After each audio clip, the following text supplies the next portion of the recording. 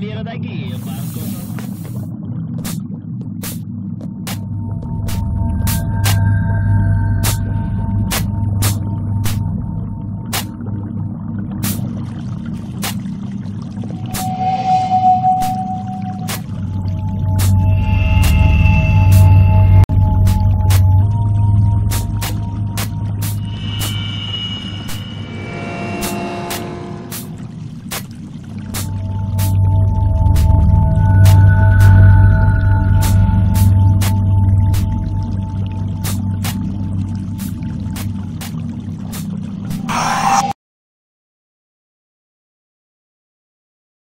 A few moments later.